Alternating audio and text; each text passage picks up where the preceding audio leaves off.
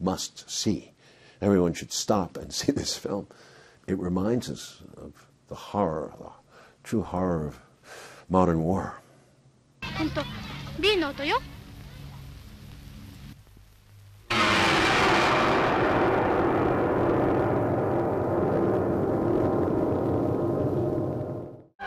みんなみんなこっちへついてきて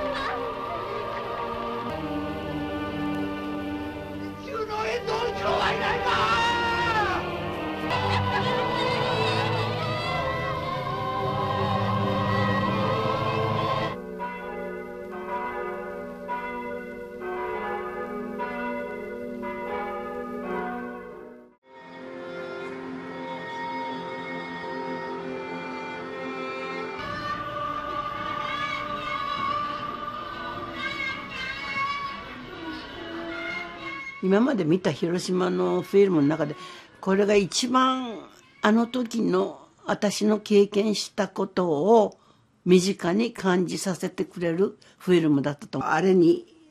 勝る映画は作られてないと思うんですよ世界中で。髪の毛は抜けるかね？はい。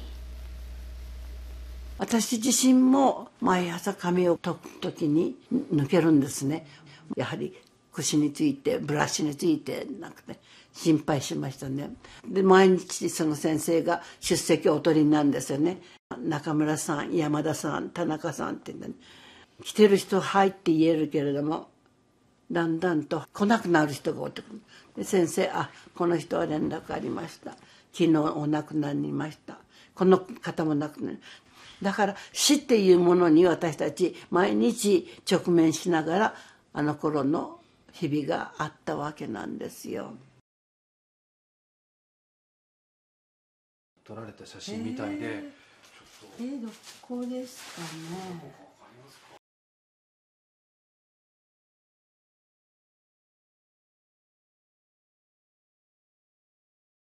たった数年前のことですから昨日のことのように思い出すわけですよ。私は肘山に逃げていったんで原爆の後ね。うん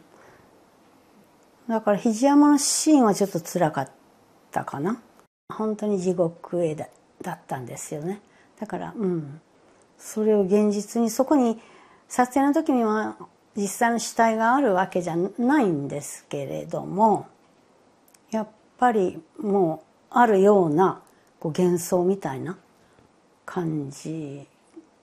がね湧き起こってくるというかトラウマみたいになってて現実に見えてるその景色と当日の景色がもう重なるんですよね本当に吐きそうになって吐いたかもしれないし、うん、倒れそうになりましたよね。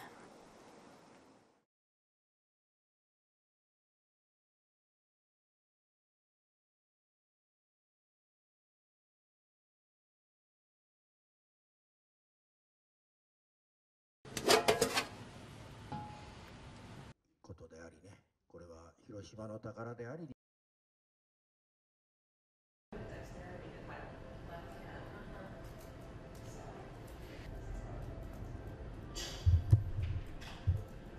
これは重要な歴史の証人であるとこの映画自身がね広島はあの世界に向けて要するに北米だけじゃなくて世界に向けて発信していくのにいい作品だと思いました。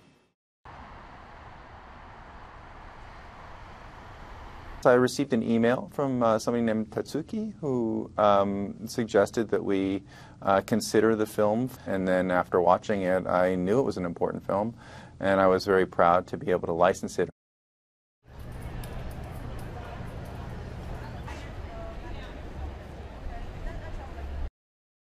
When I watched it, I didn't think of it as an anti-American film, but of course I suppose it is, and especially when it was made, I, I, I see why it would be seen that way. Um, I took it as an anti-war film. Um, I didn't, I, you know, obviously the American um,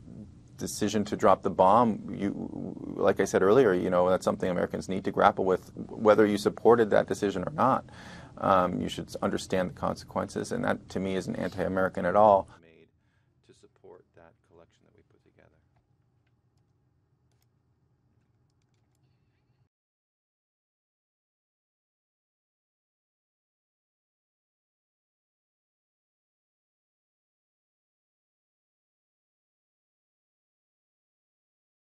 映画っても本当現実から比べたらとてもじゃないがあんなもんじゃないと私たち言わせればねあの思いますけれども